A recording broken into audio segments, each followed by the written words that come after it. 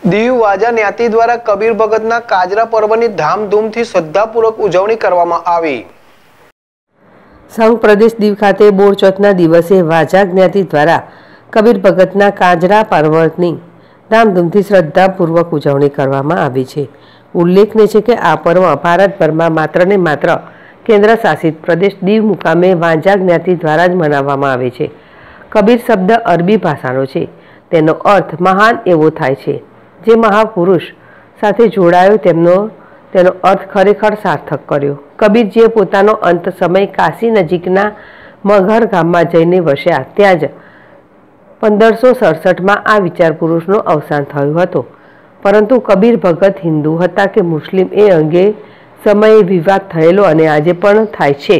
તેમના શિષ્યગણોમાં હિન્દુ મુસ્લિમ બંને જાતિ સામેલ હતી. તેથી કબીરજીના મૃત્યુ બાદ વિવાદ એટલો તીવ્ર બની ગયો હતો કે કોઈએ તેમના પાર્થિવ શરીર પરથી કફન હટાવ્યું હતું. તો ત્યાં સબની જગ્યાએ ફૂલોનો ઢગલો નીકળ્યો.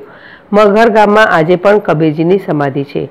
આજથી લગભગ એકસો ચોપન વર્ષથી દીવના વાજા જ્ઞાતિ સમુદાય દ્વારા કબીરજીની યાદ તાજી રાખવા માટે ફૂલો નાગરવેલના પાનના વાસની મદદથી કાજરાના તહેવાર ઉજવે છે, જે અંતર્ગત ફૂલો, નાગરવેલમાં પાન અને વાસ દ્વારા એક રચના કરવામાં આવે છે. તેમાં એક મોટા કદવાળું શ્રીફળ, જેની આગલી રાત એટલે કે શ્રાવણ વધ ત્રીજના દિવસે આખી રાત પૂજા કરવામાં આવે છે.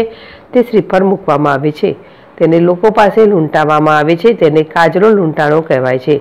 આસ્થાના પ્રતિક એવા આ શ્રીફળનું એટલું મહત્વ છે, જેને મેળવવા લોકોની લૂંટફાંટ જોવા મળે છે. ખાસ શ્રીફળ લૂંટવાનો પ્રસંગ જોવા માટે ક્યાંય ક્યાંયથી લોકોના ટોળા ઉમટે છે. ઉલ્લેખનીય છે કે આ શ્રીફળ નસીબદારને મળે છે અને તેને મેળવનારની દરેક મનોકામના પૂર્ણ થતી હોય છે તેમજ તેની પ્રસાદી પણ ખૂબ જ મહત્ત્વ ધરાવે છે.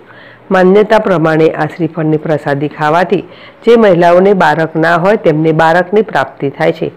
દર વર્ષની જેમ આ વર્ષે પણ દીવ વાજા જ્ઞાતિના અગ્રણીઓ દ્વારા આ પાલખીને પોલીસ બંદોબસ્ત સાથે અને ભજન કીર્તન બેન્ડ પાછા સાથે ગલીઓમાં થઈને દીવના ઝાંપે પહોંચાડવામાં આવી. જ્યાં સીતરા માતાના મંદિર પાસે સાત ફેરા ફરી હજારો લોકોને લૂંટવા માટે આપવામાં આવ્યું. જે વ્યક્તિના હાથે આશરી ફરાવે છે એ ખૂબ જ નસીબદાર કહેવાય છે. માટે ગામે ગામથી જીવના જોખમે લોકો તેને લૂંટવા માટે આવે છે.